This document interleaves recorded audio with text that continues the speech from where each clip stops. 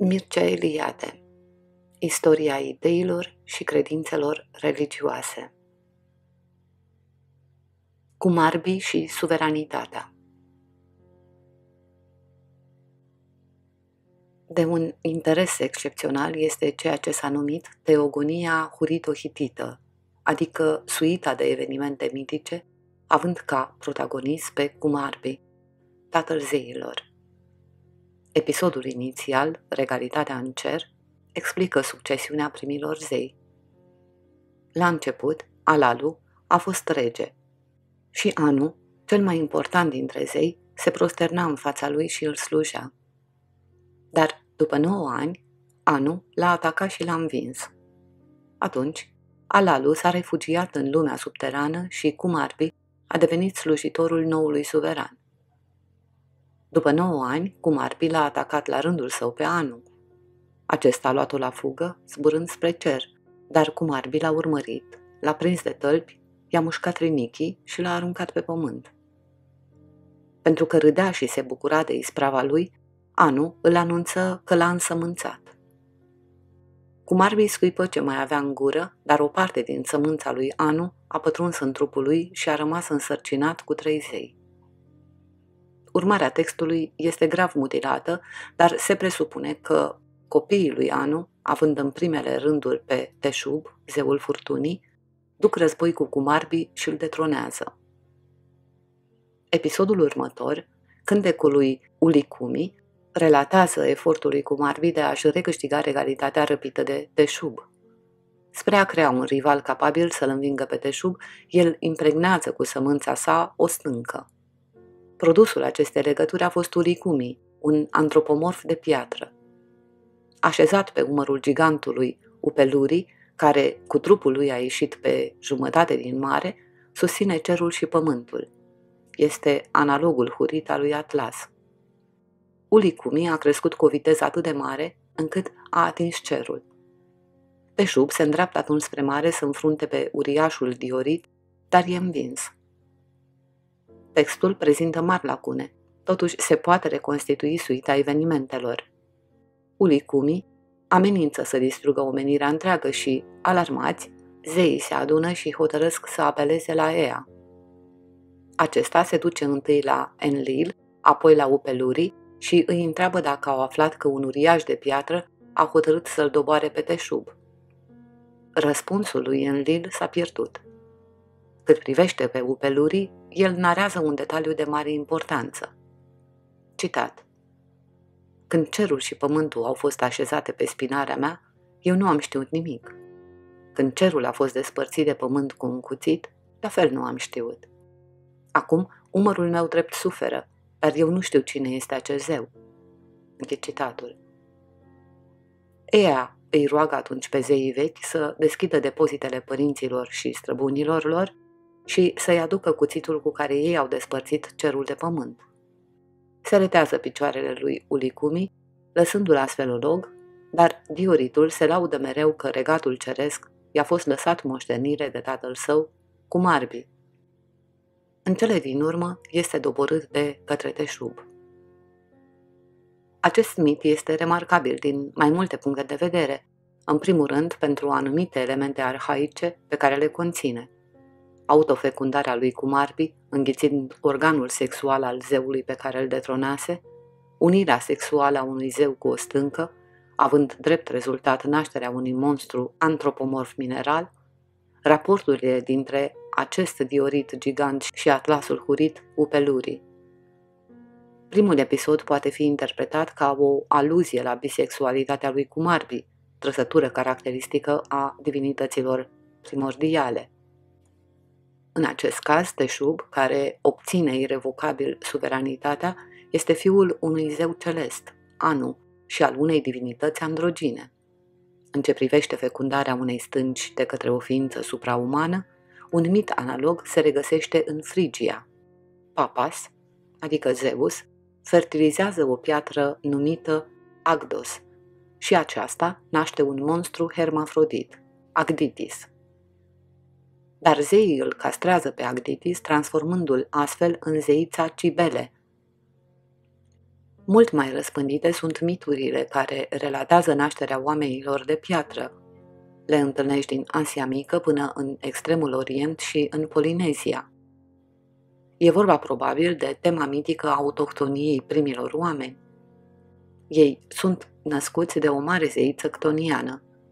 Anumiți zei, ca de exemplu Mitra, sunt de asemenea imaginație ieșind dintr-o stâncă, precum soarele, a cărui lumină strălucește în fiecare dimineață deasupra munților.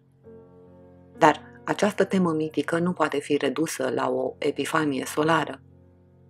S-ar putea spune că Petra Genitrix întărește sacralitatea mamei pământ cu virtuțile prodigioase cu care se presupune că sunt îmbibate pietrele. După cum am văzut, nicăieri sacralitatea masei stâncoase nu a mai fost exaltată ca în religiile megalitice.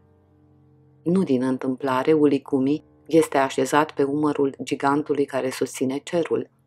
Diuritul se pregătește să devină el însuși o columnă universală. Totuși, acest motiv, specific religiilor megalitice, este integrat într-un context mai larg, lupta pentru succesiunea suveranității divine. Conflicte între generații divine de la prima traducere a textului Hurit-Hitit, s-au remarcat analogiile pe de o parte cu teogonia feniciană, așa cum era ea prezentă în Filon din Biblos, și, pe de altă parte, cu tradiția transmisă de Hesiod. După Filon, primul său suveran era Eliun, în greacă Hipsistos, cel mai înalt, corespunzând în mitologia hurită hitită lui Alalu. Din legătura sa cu Brut a venit pe lume Ouranos, corespunzând lui Anu, și G, Gaia. La rândul lor, aceștia din urmă nasc patru fii, dintre care primul, El sau Cronos, corespunde lui Cumarbi. Ca urmare a unei certe cu soția sa, Ouranos încearcă să-și distrugă progenitura, dar El făurește un fierăstrău sau o lance, îl alungă pe tatăl său și rămâne suveran – în cele din urmă, Baal, reprezentând a patra generație și corespunzând lui Teșub și lui Zeus, obține suveranitatea. Trăsătură de excepție, el o obține fără luptă.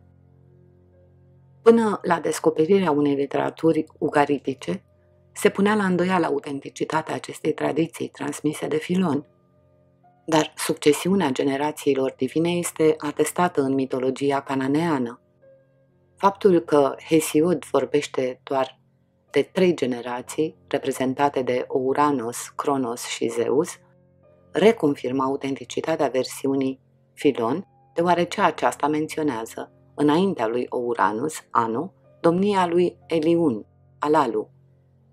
Probabil că versiunea feniciană a mitului suveranității divine derivă din sau a fost puternic influențată de către mitul hurit cât despre Hesiod, se poate presupune că a folosit aceeași tradiție cunoscută în Grecia, fie prin intermediul fenicienilor, fie direct de la hitiți. E important de subliniat caracterul specializat și, totodată, sincretist al acestui mit și nu numai în versiunea sahurită hitită, în care se află de altfel numeroase elemente sumero-acadiene. În mod asemănător, Enuma Elish prezintă 1. O serie de generații divine, 2. Bătălia tinerilor împotriva bătrânilor și 3. Victoria lui Marduk, care își asumă astfel suveranitatea. Dar, în mitul mesopotamian, lupta victorioasă se încheie cu o cosmogonie, mai exact cu crearea Universului, așa cum îl vor cunoaște oamenii. Acest mit se încadrează în seria cosmogoniilor care comportă o luptă între un zeu și un dragon, urmată de dezmembrarea dușmanului înfrânt, în teogonia lui Hesiod, actul cosmogonic, separarea cerului Ouranos de pământ, Gaia, prin castrarea lui Ouranus, are loc la începutul dramei și declanșează în fond lupta pentru suveranitate. Aceeași situație în mitul Hurit-Hitit. Cosmogonia, adică separarea cerului de pământ, a avut loc cu mult timp înainte în epoca zeilor vechi. Pe scurt, Toate miturile care relatează conflicte între generații succesive de zei pentru obținerea suveranității universale justifică, pe de o parte, poziția exaltată a ultimului zeu înfingător și, pe alta, explică structura prezentă a lumii și condiția actuală a omenirii. Un panteon cananean, ugarit. Cu puțin timp înainte de aproximativ 3000 înaintea erei noastre, o nouă civilizație, aceea a bronzului vechi, apare în Palestina. Ea marchează prima stabilire a semiților. Urmând modelul Bibliei, îi putem numi cananeeni, dar acest nume este convențional. Invadatorii se sedentarizează, practică agricultura, dezvoltă o civilizație urbană. Timp de mai multe secole, alți emigranți se infiltrează în regiune și schimburile cu țările vecine, mai ales cu Egiptul, se mulțesc. Către 2200, civilizația bronzului vechi este ruinată de irupția unei noi populații semitice, amoriții, războinici, seminomazi, agricultori cu intermitență, dar mai ales păstori. Acest sfârșit al unei civilizații constituie totuși începutul unei noi ere. Invadarea Siriei și a Palestinei de către amoriți nu e decât un episod al unei mișcări mai vaste, atestate cam în aceeași epocă în Mesopotamia și în Egipt. Sunt atacuri în lanț efectuate de către nomazi impetuoși și sălbatici, rostogolindu-se, val după val, din deșertul sirian, fascinați și exasperați în același timp de opulența orașelor și a ogoarelor. Dar, cucerindu-i, ei adoptă stilul de existență al aborigenilor și se civilizează. După un anumit interval, descendenților vor fi obligați să se apere împotriva incursiunilor în armate ale altor barbari, nomadizând la liziera pământurilor cultivate – Procesul se va repeta în ultimele secole ale mileniului al doilea, când izraeliții vor începe să pătrundă în Canaan. Tensiunea și simbioza între cultele fertilității agrare, înflorind pe coasta siro-palestiniană, și ideologia religioasă a păstorilor nomazi, dominată de divinitățile celeste și astrale, vor cunoaște o nouă intensitate odată cu instalarea evreilor în Canaan. S-ar putea spune că această tensiune, realizând de multe ori o simbioză, va fi ridicată la rangul de model exemplar, căci aici, în Palestina, un nou tip de experiență religioasă se va lovi de vechile și venerabilele tradiții ale religiozității cosmice. Până în 1929, informațiile asupra religiei siro-cananeene erau furnizate de Vechiul Testament de inscripțiile feniciene și de anumiți autori greci, mai ales Filon din Biblos în secolele 1 și 2 după Hristos, dar și Lucian din Samosata în secolul al II-lea după Hristos și Nonos din Panopolos în secolul al V-lea. Dar Vechiul Testament reflectă polemica împotriva păgânismului, iar celelalte izvoare sunt fie prea fragmentate, fie târzii. În 1929, un mare număr de texte mitologice au fost scoase la lumina zilei de săpăturile de la Ras Samra, vechiul Ugarit, oraș port pe coasta septentrională a Siriei. E vorba de texte redactate în secolele 14-12 înaintea erei noastre, dar conținând concepții mitico-religioase mai vechi. Documentele descifrate și traduse până în prezent sunt însă insuficiente pentru a ne permite o vedere comprehensivă a religiei și mitologiei ugaritice. Supărătoare lacune întrerup aceste povestiri. Capetele coloanelor fiind sparte, nu există un acord nici măcar în ce privește ordinea episoadelor mitologice. În ciuda acestei stări fragmentare, literatura ugaritică este de neprețuit. Trebuie, totodată, ținut cont de faptul că religia Ugaritum nu a fost niciodată aceea a întregului Canaan. Interesul documentelor ugaritice ține mai ales de faptul că ele ilustrează faze ale trecerii de la o anumită ideologie religioasă la alta. Zeul El este șeful panteonului. Numele său înseamnă zeu în semită, dar la semiții occidentali el este un zeu personal. E numit puternic, taur, părinte al seilor și al oamenilor, rege, tată al anilor. El este sfânt, plin de milă, prea înțelept. Pe o stelă din secolul al XIV-lea, el este reprezentat așezat pe tron, maestuos, bărbos, într-o haină lungă cu o tiară împodobită de coarne. Până în prezent nu s-a găsit niciun text cosmogonic.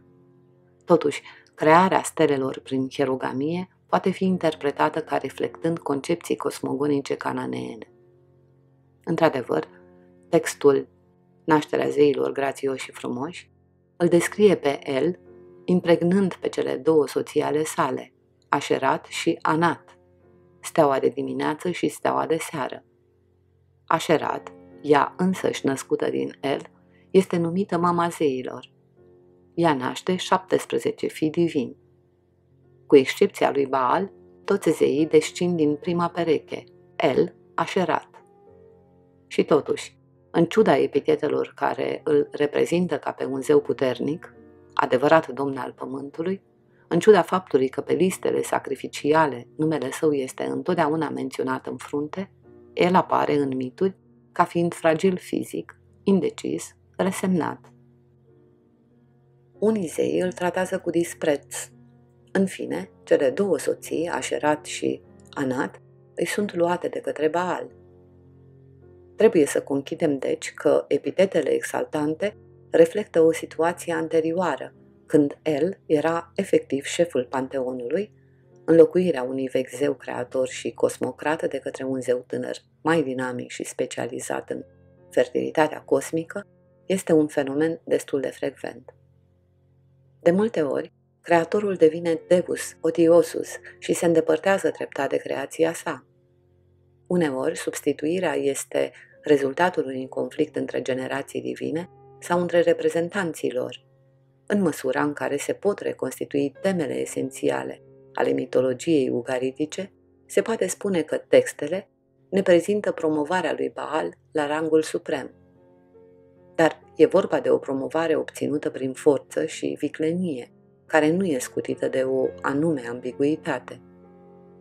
Baal este singurul zeu care, deși se numără printre fiii lui El, întrucât acesta era tatăl tuturor zeilor, este numit fiul lui Dagon. Acest zeu, al cărui nume înseamnă sămânță, era venerat în al treilea mileniu în regiunile Eufratului înalt și mijlociu. Totuși, Dagon nu joacă niciun rol în textele mitologice ale Ugaritului, unde Baal este principalul protagonist. Numele comun Baal, stăpân, a devenit numele său personal. El are de asemenea un nume propriu, Hadu, adică Hadad. El este numit cel care călărește pe nori, prinț stăpân al pământului. Unul din epitetele sale este Alian, puternicul, suveranul. El este sursă și principiu al fertilității, dar și războinic, totodată după cum sora și soția sa, Anat, este în același timp zeița dragostei și a războiului. Alături de ei, cele mai importante personaje mitologice sunt Iam, prințul mării, Fluviu Regen și Mot, moartea, care își dispută cu tânărul zeu puterea supremă. În fapt, o mare parte a mitologiei ugaritice este consacrată conflictului dintre El și Baal și luptelor lui Baal cu Iam și Mot pentru a-și impune și menține suveranitatea. Baal câștigă suveranitatea și triumfă asupra dragonului. Conform unui text grav mutilat, Baal și tovarășii lui îl atacă pe el prin surprindere în palatul său de pe muntele Sapan și reușesc să-l lege și să-l rănească.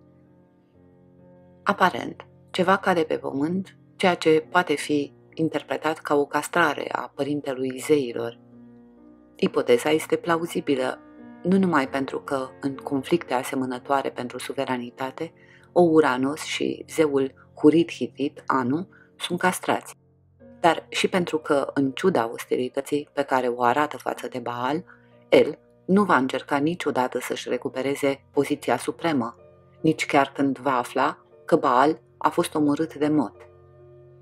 Căci, în Vechiul Orient, o asemenea mutilare privează victima de suveranitate. De altfel, cu excepția textului în care el își dovedește virilitatea născând doi zei planete, documentele ugaritice fac din el mai degrabă un neputincios. Fapt care explică atitudinea sa supusă și ezitantă, precum și faptul că Baal îi răpește soția. Uzurpându-i tronul de pe muntele Sapan, Baal îl constrânge pe el să se refugieze la capătul lumii, la izvorul râurilor, în hăul abisurilor, care va fi de acum încolo locuința sa. El plânge și imploră sprijinul aror săi. Iam este primul care îl aude și îi dă să bea o băutură tare. El îl binecuvântează, îi acordă un nou nume și îl proclamă succesorul său. În plus, îi promite ridicarea unui palat, totodată îl atâță să-l alunge pe Baal de pe tron. Textul care descrie lupta dintre Iam și Baal este întretăiat de lacune. Deși Iam pare să fie acum suveran, el se află cu majoritatea zeilor pe un munte, care, evident, nu mai este muntele Sapan. Întrucât Baal îl insultase pe Iam, declarând că se ridicase fără rușine la înalta sa poziție și că va fi distrus, Iam își trimite mesagerii și îi cere supunerea lui Baal. Zeii sunt intimidați și Baal îi ceartă. Ridicați capul, zei, de pe genunchii voștri. Eu îi voi înfricoșa pe mesagerii lui Iam. Totuși, el îi primește pe sol și declară că Baal este sclavul lor și că el îi va plăti tribut lui Iam. Și cum Baal se arată probabil amenințător, el adaugă că solii vor putea să-l stăpânească fără dificultate. Totuși, ajutat de Anat, Baal se pregătește să-l înfrunte pe Iam. Fierarul divin, Coșarva Hasis, dibaci îndemânatic, îi aduce două bute magice care au calitatea de a se lansa ca săgețile din mâna acelui care le folosește. Prima bâtă îl atinge pe Iam în umăr, dar acesta nu cade. A doua îl lovește în frunte și prințul mării se prăbușește zdrobit la pământ. Baal îl răpune și zeița, Atart, îi cere să-l dezmembreze și să-i împrăștie cadavrul. Iam este prezentat în același timp ca zeu și ca demon. Este fiul iubit al lui El și, în calitate de zeu, primește sacrificii ca și ceilalți membri ai panteonului. Pe de altă parte, el este un monstru acvatic, un dragon cu șapte capete, prințul mării, principe și epifanie a apelor subterane. Semnificația mitologică a luptei e multiplă. Pe de o parte, pe planul imageriei sezoniere și agricole, victoria lui Baal desemnează triumful ploii asupra mării și a apelor subterane, ritmul pluvial reprezentând norma cosmică se substituie imensității haotice și sterile a mării și a inundațiilor catastrofale. Odată cu victoria lui Baal, triumfă încrederea și ordinea și stabilitatea anotimpurilor. Pe de altă parte, lupta împotriva dragonului acvatic ilustrează emergența unui zeu tânăr în calitate de învingător și, în consecință, de nou suveran al panteonului. În fine, se poate descifra în acest episod răzbunarea primului născut, Iam, împotriva uzurpatorului care îl castrase și îl detronase pe tatăl său, El. Asemenea lupte sunt exemplare, adică susceptibile de a fi indefinit repetate. De aceea, Iam, deși fusese ucis de către Baal, va reapărea în texte. El nu este singurul de altfel care se bucură de o existență circulară. După cum vom vedea îndată, Baal și Mod împărtășesc un mod de a fi similar. Palatul lui Baal Ca să celebreze victoria împotriva dragonului, Anat oferă un banchet în onoarea lui Baal. Apoi, zeița închide porțile palatului și, cuprinsă de furie homicidă, începe să ucidă pasnici, soldați, bătrâni. În sângele care îi vine până la genunchi, ea se încinge cu capetele și cu mâinile victimelor. Episodul este semnificativ. S-au găsit paralele în Egipt și mai ales în mitologia și iconografia zeiței indiene Durga. Carnajul și canibalismul sunt trăsături caracteristice zeițelor arhaice ale fertilității. Din acest punct de vedere, mitul lui Anat poate fi clasat printre elementele comune vechii civilizații agricole, care se întindea din Mediterana Orientală până în câmpia Gangelui. Într-un alt episod, Anat își amenință propriul tată, El, că îi va mânji de sânge părul și barba. Când a găsit trupul neînsuflețit al lui Baal, Anat a început să se lamenteze, sfâșindu-și carnea fără cuțit și bându-și sângele fără cupă. Din cauza comportamentului ei brutal și sanguinar, Anat, ca de altfel și alte zeițe ale dragostei și ale războiului, a fost înzestrată cu atribute masculine și, prin urmare, considerată ca bisexuală. După o nouă lacună, textul îl arată pe Baal, trimițându-i mesageri încărcați de cadouri. El o informează că războiul îi este odios. Anat să depună deci armele și să aducă ofrande pentru pace și pentru prosperitatea ogoarelor. El îi transmite că va crea fulgerul și tunetul pentru ca zeii și oamenii să poată cunoaște apropierea ploii. Anat îl asigură că îi va urma sfaturile. Totuși, deși suveran, Baal nu are nici palat, nici capelă, în timp ce alți zei au. Altfel zis, Baal nu dispune de un templu suficient de grandios pentru a-și proclama suveranitatea. O serie de episoade relatează construcția palatului. Contradicțiile nu lipsesc, într-adevăr, deși îl detronase pe el, Baal are nevoie de autorizația sa. El o trimite pe Așerat să-i pledeze cauza și mama zeilor exaltă faptul că de acum înainte Baal va dărui belșugul ploii și va face să răsune vocea sa în nori. El consimte și Baal îl însărcinează pe Coșar Vahasis să îi clădească palatul. La început, Baal refuză să-i facă palatului ferestre, de teamă ca Iam să nu pătrundă prin ele. Sfârșește totuși prin a se liniști. Ridicarea unui templu palat după victoria zeului contra dragonului proclamă promovarea sa la rangul suprem. Zeii construiesc templul palat în onoarea lui Marduk după înfrângerea lui Tiamat și creația lumii. Dar simbolismul cosmogonic este și el prezent în mintul lui Baal. Templul palat, fiind o imago mundi, construcția sa corespunde întrucâtva unei cosmogonii, în fond, triumfând împotriva haosului acvatic, reglând ritmul ploii, Baal formează lumea așa cum este ea astăzi. Baal se confruntă cu mod, moartea și reîntoarcerea la viață. Când palatul este terminat, Baal se pregătește să îl înfrunte pe Mod, moartea. Acesta din urmă este un zeu foarte interesant. El este, bineînțeles, fiul lui El și domnește peste lumea subterană, dar reprezintă singurul exemplu cunoscut în Orientul apropiat al unei personificări, care este în același timp o divinizare, a morții. Baal îi trimite mesageri pentru a-l informa că de acum înainte el singur este regele zeilor și al oamenilor, pentru că zeii să se poată îngrășa și oamenii, mulțimea pământului, să poată fi săturați.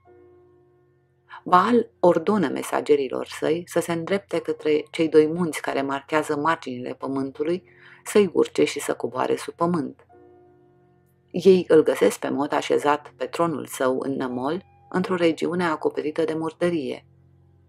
Dar ei nu trebuie să se apropie prea mult, altfel, mod îi va înghiți în gura sa enormă.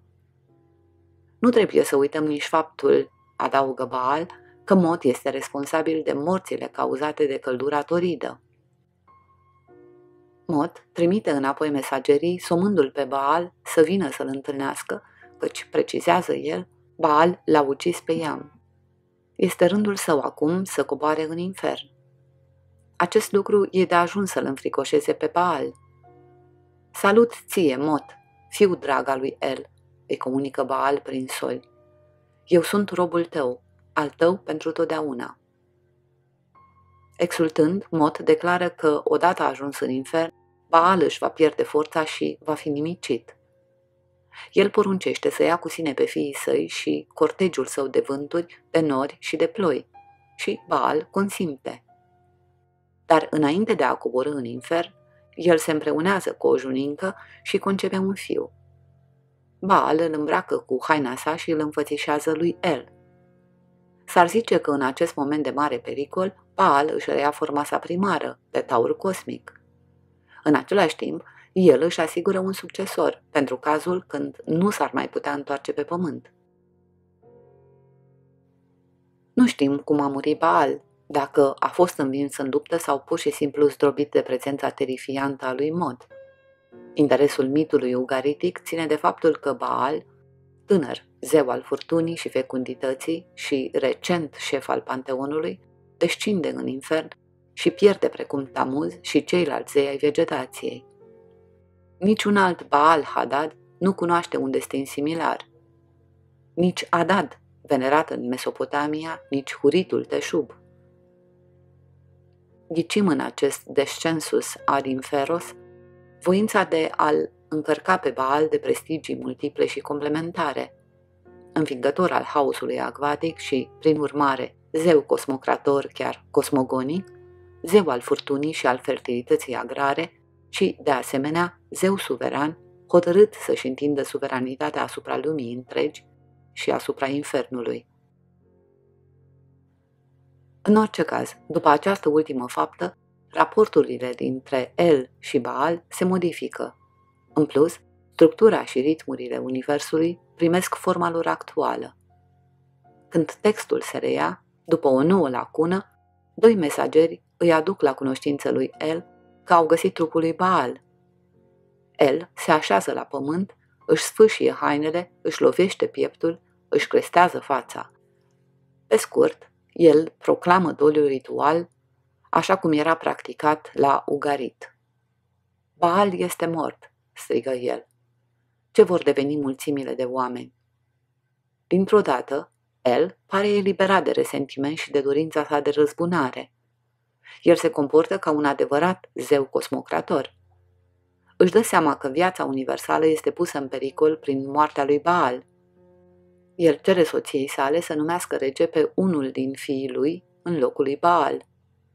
Așerat desemnează pe Atar cel groaznic, dar când acesta urcă pe tron, el descoperă că nu este destul de mare ca să-l ocupe și recunoaște că nu poate să fie rege.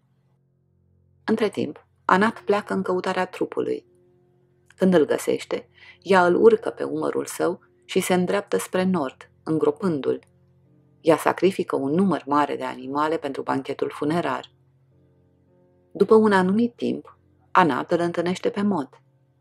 Ea îl prinde și cu sabia îl taie, cu vânturătoarea îl vântură, cu focul îl arde, cu moara îl macină, în câmpii îl împrăștie și păsările îl mănâncă. Anat operează un fel de omor ritual, tratându-l pe mod ca pe un snop de grâu. În general, această moarte este specifică zeilor și spiritelor vegetației. Ne putem întreba dacă nu cumva, chiar din cauza acestei morți de tip agrar, Mot va reveni mai târziu la viață. Oricum ar fi, omorârea lui Mot nu este fără legătură cu destinul lui Baal. Zeul El visează că Baal este viu și că cerurile plouau undele și pâraiele curgeau cu miere, ceea ce amintește de imaginile biblice. El izbucnește în râs și declară că se va așeza și se va odihni, căci victoriosul Baal trăiește, prințul pământului există. Dar, așa cum Iam revine la viață, Mot reapare după șapte ani și se plânge de tratamentul pe care l-a suferit din partea lui Anat. El se plânge de asemenea de faptul că Baal i-a răpit suveranitatea și cei doi adversari încep lupta. Ei se înfruntă, se lovesc cu capul și cu picioarele ca doi boi sălbatici, se mușcă asemenea cerpilor, până când amândoi se prăbușesc la pământ, cu Baal deasupra lui Mod. Dar Șapaș, zeița soarelui, îl avertizează pe Mod, din partea lui El, că este inutil să continue lupta și Mod se supune, recunoscând suveranitatea lui Baal. După alte câteva episoade, numai parțial comprehensibile, Anat este informată că Baal va fi rege mereu, inaugurând o eră de pace, când boul va avea vocea gazelei și șrimul glasul rândunicii. Viziunea religioasă cananeană Anumiți autori au crezut că pot recunoaște în acest mit reflexul morții și reapariției anuale a vegetației. Dar în Siria și în Palestina, vara nu aduce moartea vieții vegetale. Este, din potriva, anotimpul fructelor. Nu căldura turidă este aceea care îl îngrozește pe cultivator, ci o secetă prelungită. Pare deci probabil că victoria lui Mod se referă la ciclul de șapte ani de secetă despre care găsim ecouri în Vechiul Testament. Dar interesul mitului depășește eventualele sale raporturi cu ritmul vegetației. În fond, aceste evenimente patetice și adesea spectaculoase ne dezvăluie un mod specific al existenței divine, și anume, un mod de a exista care comportă înfrângerea și moartea, dispariția prin ormântare, Baal sau prin dezmembrare, mod, urmate de reapariții mai mult sau mai puțin periodice. Acest tip de existență, în același timp intermitentă și circulară, amintește de modalitatea zeilor ce guvernează ciclul vegetației. E vorba totuși de o nouă creație religioasă care vizează integrarea aspectelor negative ale vieții într-un sistem unitar de ritmuri antagonice. În cele din urmă, luptele lui Baal cu derutele și victoriile sale îi asigură suveranitatea în cer și asupra pământului. Dar Iam continuă să domnească asupra mării și Mod rămâne stăpânul rumii subterane a morților. Miturile pun în evidență primatul lui Baal și, pornind de aici, perenitatea vieții și a normelor care guvernează cosmosul și societatea umană. Aspectele negative reprezentate de către Iam și Mod își găsesc, prin chiar acest fapt, justificarea. Faptul că Mod este fiul lui El și mai ales că Baal nu reușește să-l nimicească, proclamă normalitatea morții. În ultima analiză, moartea se dovedește condiția sine va non a vieții. Probabil că mitul, relatând lupta dintre Baal și Iam, era recitat la sărbătoarea de anul nou, iar cel al conflictului Baal-Mod cu ocazia recoltelor. Dar niciun text cunoscut până în prezent nu atestă aceste fapte. În același mod, se poate concepe că regele, despre care se știe că juca un rol important în cult, îl reprezenta pe Baal în aceste scenarii midico-rituale. Dar argumentul este încă controversat. Sacrificiile erau considerate drept hrană oferită zeilor. Sistemul sacrificial pare asemănător aceluia din Vechiul Testament. El comportă holocaust, sacrificiul sau ofranda de pace sau de comuniune și sacrificiul expiator. Preoții aveau același nume ca în ebraică, Kohan. Alături de preoți sunt menționate de asemenea preotesele și coadecim, persoane consacrate. În Biblie acest termen desemnează prostituția sacră, dar textele eucaritice nu indică nimic asemănător. În fine, sunt citați preoții oraculari sau profeții. Templele aveau altare împodobite cu imagini ale zeilor și simboluri divine, în afară de sacrificii sângeroase, Cultul comporta dansuri și numeroase acte orgiastice care vor stârni mai târziu mânia profeților. Dar nu trebuie să uităm că lacunele documentare ne permit numai o estimare aproximativă a vieții religioase cananeene. Nu dispunem de nicio rugăciune. Se știe că viața este un dar divin, dar nu cunoaștem mitul facerii omului. O asemenea viziune religioasă nu era exclusiv cananeană dar importanța și semnificația sa au fost reimpulsionate atunci când israeliții, pătrunzând în Canaan, au fost confruntați cu acest tip de sacralitate cosmică, implicând o activitate culturală complexă și, în pofida exceselor orgiastice, nu lipsită de grandoare. Deoarece credința în sacralitatea vieții era împărtășită și de israeliți, o problemă se punea de la început. Cum să păstrezi o credință asemănătoare fără să o integrezi în ideologia religioasă cananeană? Aceasta implica, așa cum am văzut, o teologie specifică centrată pe modalitatea intermitentă și circulară a zeului principal, Baal, simbol al vieții totale. Ori Iahve nu împărtășea acest mod de a fi. În plus, deși cultul său comporta un anumit număr de sacrificii, Iahve nu se lăsa constrâns de acte cultuale. El cerea transformarea interioară a credinciosului prin supunere și încredere. Cum vom vedea mai departe, multe elemente religioase cananeene au fost asimilate de izraeliți. Citat. Dar chiar aceste împrumute erau un aspect al conflictului. Baal era combătut cu propriile sale arme. Dacă se consideră că toate grupurile străine, chiar non-semite precum huriții și mai târziu filistenii, și-au uitat cu desăvârșire religia proprie, foarte curând după sosirea lor în Canaan, se va aprecia ca extraordinar de omenește faptul că această luptă dintre Iahve și Baal s-a prelungit atât de mult timp și, în ciuda compromisurilor și a infidelităților, s-a terminat prin victoria iahvinismului. Închei citatul. Duveau, Istoria antică a Israelului Abia în mitologia budistă se va mai întâlni un alt mare zeu al morții. Mura, care își datorește imensa putere chiar oarbei iubiri de viață a oamenilor. Dar, evident, în perspectiva indiană postupanisadică, ciclul viață-sexualitate, moarte, reîntoarcere la viață constituie cel mai mare obstacol în calea eliberării. Dacă vă este pe plac conținutul acestei pagini, nu uitați să vă abonați la canalul meu de YouTube apăsând butonul roșu de abonare ca să primiți de fiecare dată o notificare când apare un video nou. De asemenea, în comentarii aștept sugestiile dumneavoastră legate de ceea ce v-ați dori să cuprindă acest canal. Toate înregistrările acestei pagini sunt din domeniul public.